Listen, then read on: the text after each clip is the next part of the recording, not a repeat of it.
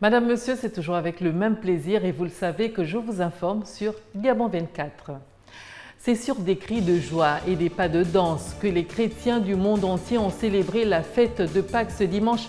Et au Gabon, les chrétiens n'ont pas dérogé à la règle. Nous aurons les images de cette célébration dans ce journal. Neuf mois après un putsch manqué contre le président Recep Tayyip Erdogan, les Turcs ont voté ce dimanche pour ou contre une révision constitutionnelle prévoyant notamment la suppression du poste de Premier ministre au profit d'un hyper-président qui concentrera entre ses mains de vastes prérogatives. Le oui l'emporte pour l'instant avec 55,47% des voix. Nous le verrons justement en détail dans un instant. Voilà pour les titres. Débutons cette session sur le Gabon par euh, les chrétiens qui ont célébré ce dimanche la fête de Pâques qui commémore la résurrection de Jésus-Christ comme sauveur de l'humanité dans les églises. Cris de joie et pas de danse. Le Christ, est vraiment ressuscité. C'est un reportage de Linda Gaël Maganga et Frendongo. C'est la fête dans les églises chrétiennes. Le Christ est ressuscité ce dimanche, au terme du temps de carême, où les fidèles ont fait pénitence et médité sur la passion du Christ Jésus jusqu'à sa mort sur la croix de Golgotha, un autre moment liturgique débute. Le temps de Pâques qui symbolise la résurrection de Jésus le troisième jour après sa mort.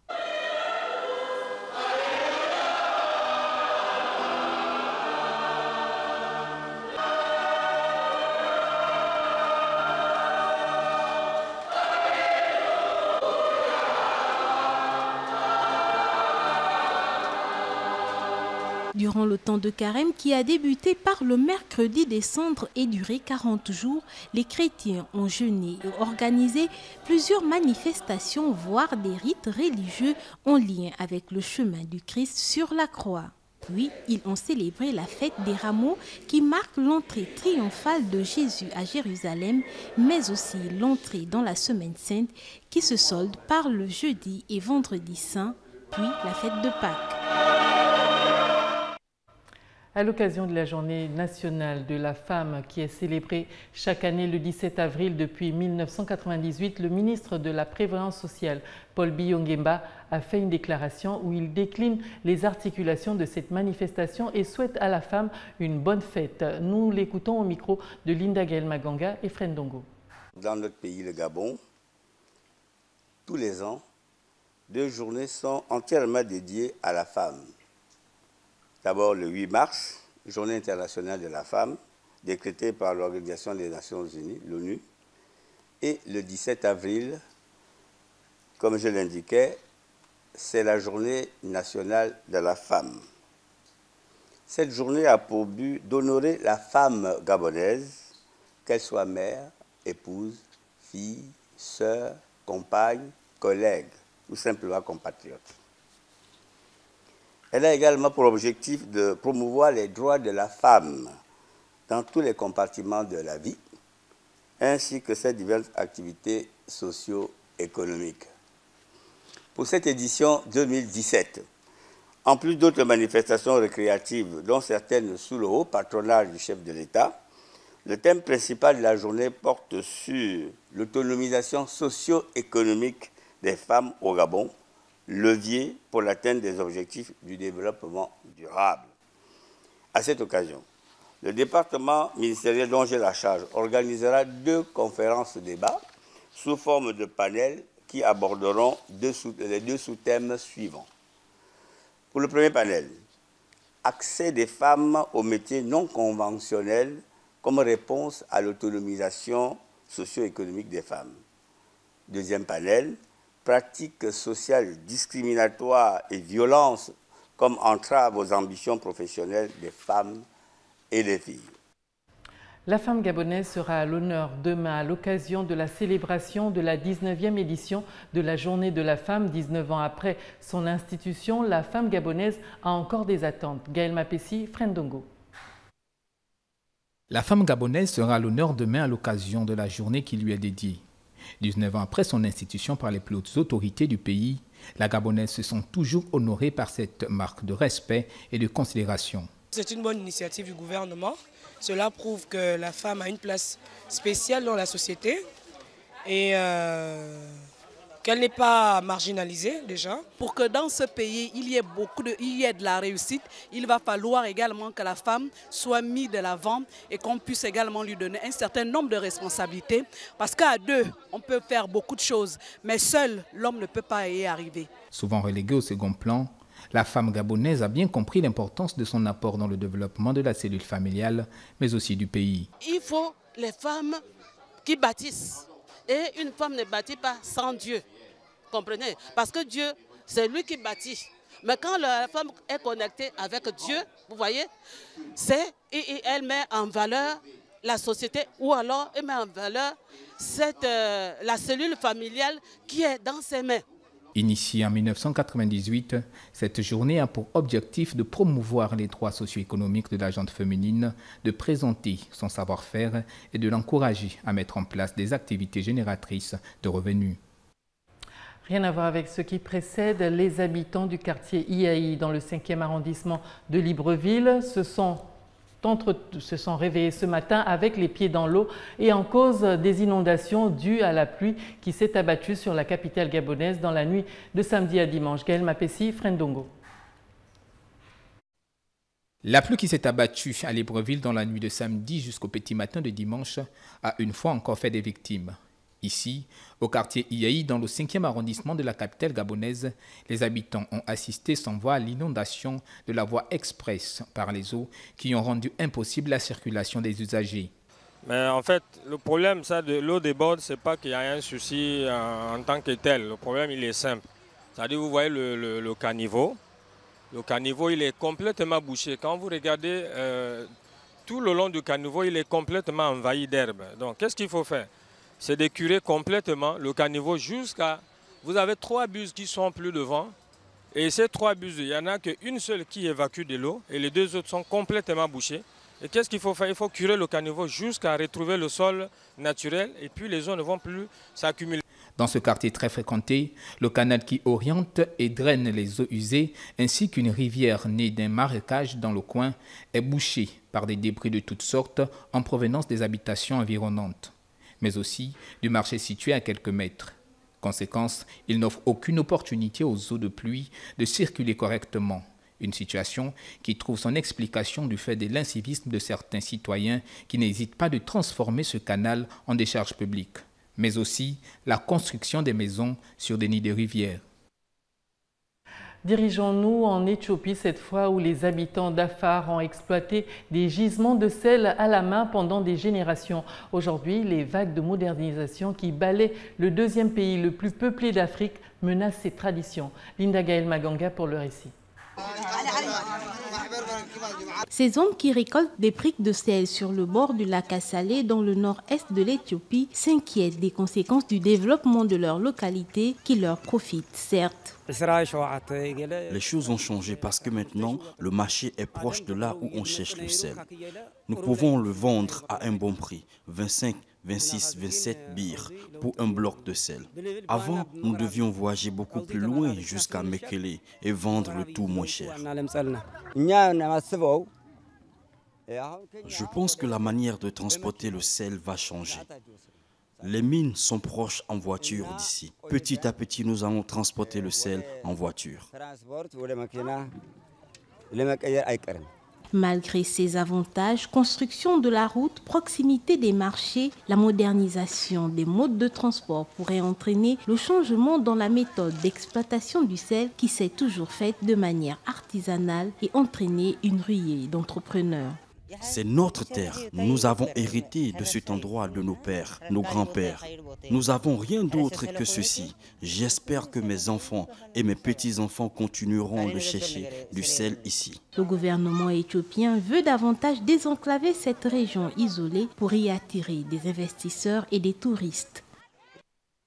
Après trois ans de détention, un tribunal du Caire a acquitté ce dimanche une militante égypto-américaine fondatrice d'une ONG pour les enfants des rues et accusée de trafic humain. Yvely Arvel pour le récit. Un tribunal du Caire a acquitté dimanche la militante égypto-américaine Aya Ijazi, fondatrice de l'ONG Baladi pour les enfants des rues et accusée de trafic humain, après trois ans de détention.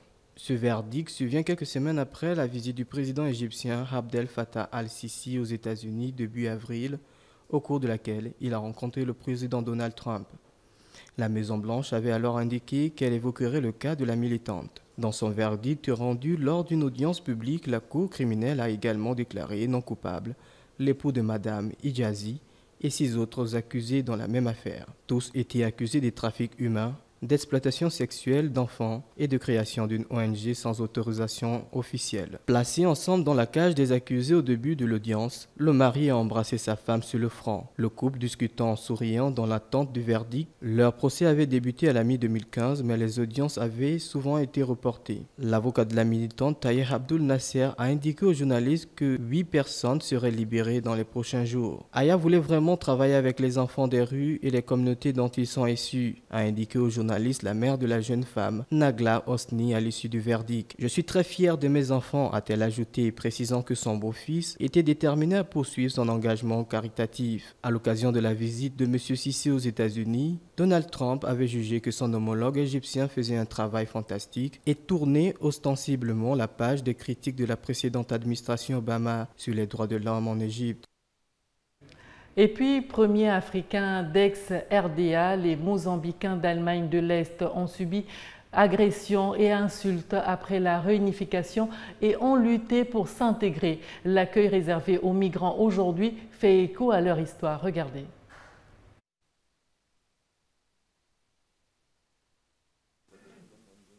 Les premiers Africains de l'ancienne République démocratique allemande compatissent pour les nouveaux migrants et se rappellent de ce qu'ils ont subi pour se faire intégrer après la réunification de l'Allemagne en 1990.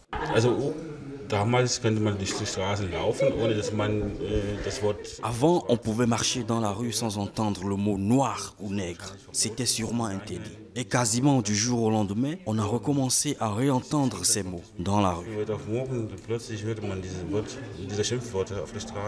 Si pour certains, agressions et insultes ont été le quotidien, pour d'autres, arrivés très jeunes, ils ont subi la primade.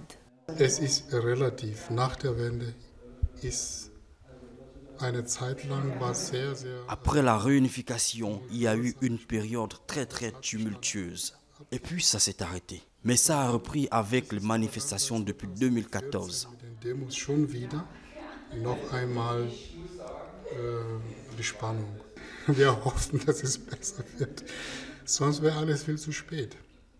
Nous espérons que ça va s'améliorer. Il nous faut vivre avec cette situation et tout faire pour que cela change, pour que ça aille mieux.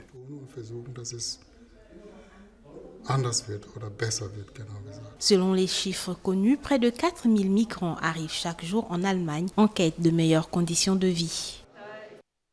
En Italie, Sainte Alessio in Aspromonte compte 330 âmes, dont des dizaines de migrants arrivés d'Afrique ou du Moyen-Orient. Ce petit village de Calabré qui s'est vidé de ses habitants revit grâce à l'accueil de réfugiés et de demandeurs d'asile. Reportage un terrain de foot et une salle de gym flambant neuf.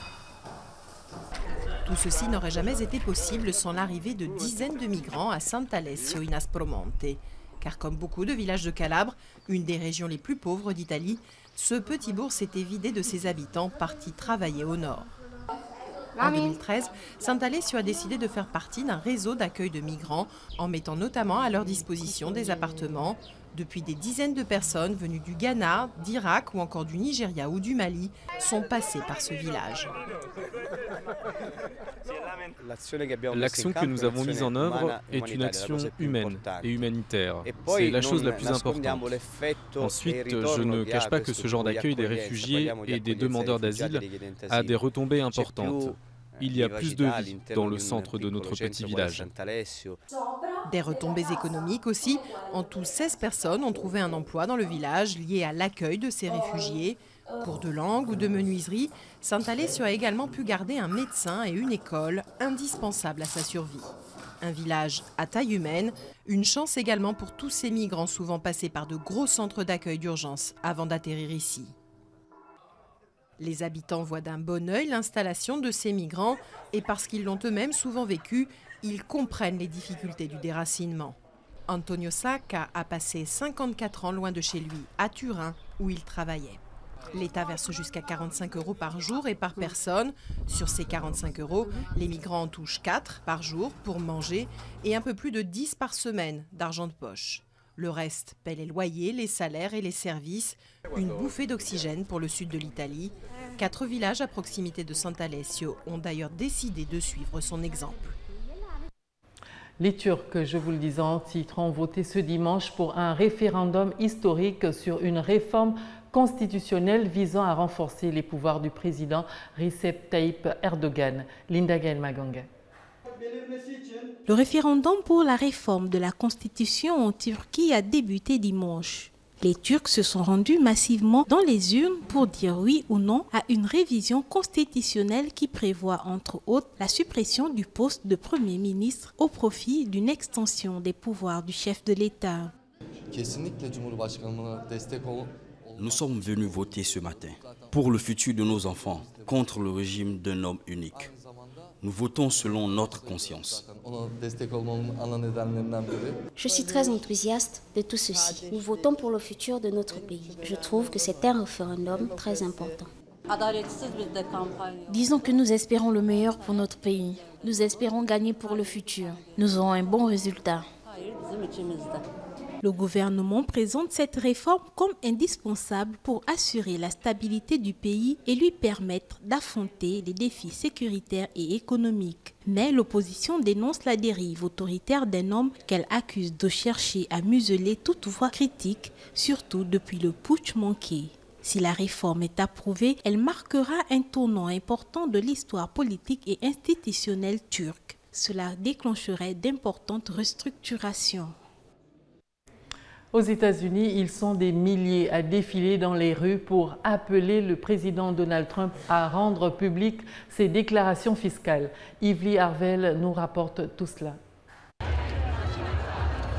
Des milliers de personnes se sont rassemblées samedi dans plusieurs villes américaines pour appeler le président Donald Trump à rendre public ses déclarations de revenus et d'impôts. Un geste de transparence que le milliardaire se refuse à faire. À Washington, New York, Philadelphie, San Francisco, Los Angeles et ailleurs à travers les États-Unis, il brandissait des pancartes telles que Que caches-tu? ou insignant de conflit d'intérêts avec la Russie. Il ne veut pas qu'on le sache. Primo, combien d'argent il possède réellement et deuxio, d'où ça vient? Est-ce qu'il blanchit de l'argent pour les Russes? Possible. Ces rassemblements étaient organisés symboliquement à quelques jours de la date limite, le 18 avril, de déclaration de revenus pour 2016 aux États-Unis. Tous les récents présidents et candidats à la Maison-Blanche ont publié une ou plusieurs années de leur déclaration fiscale, une tradition qui vise à identifier d'éventuels conflits d'intérêts. Chaque président au cours de ces 40 dernières années a rendu ses impôts publics. Trump continue de dire que seuls les médias se préoccupent de ces taxes. Aujourd'hui, nous sommes là pour lui prouver le contraire. Nous sommes là pour prouver que les gens s'en préoccupent. Et la raison pour laquelle les gens s'en préoccupent, c'est parce que l'administration Trump fait l'objet d'une enquête pour collusion avec des pouvoirs étrangers qui ont influencé le résultat des élections. Tant que l'on ne verra pas les impôts de Trump, on ne saura pas pour qui il travaille vraiment et dans quel pays il a des intérêts commerciaux. Le président américain n'est pas à Washington ce week-end, mais dans sa propriété de Mar-a-Lago, à West Palm Beach en Floride. Là aussi, quelques manifestants ont brandi des pancartes le long de la route conduisant à son club privé. La Corée du Nord est la cible d'une multitude de sanctions du Conseil de sécurité de l'ONU en raison de ses programmes balistiques et nucléaires interdits.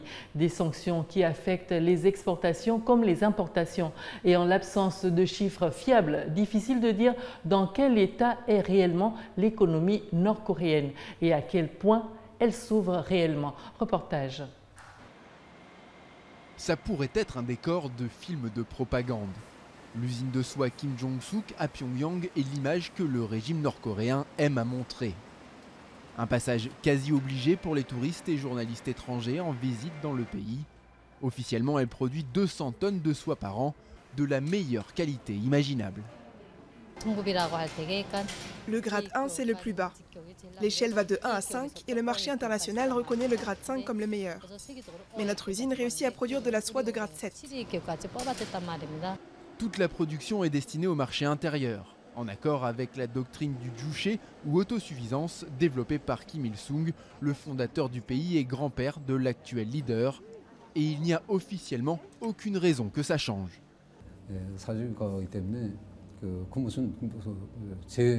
Nous sommes un pays socialiste. Et donc, nous nous en tenons aux principes économiques du socialisme. Nous ne comptons pas adopter de réformes qui nous emmèneraient vers une économie de marché.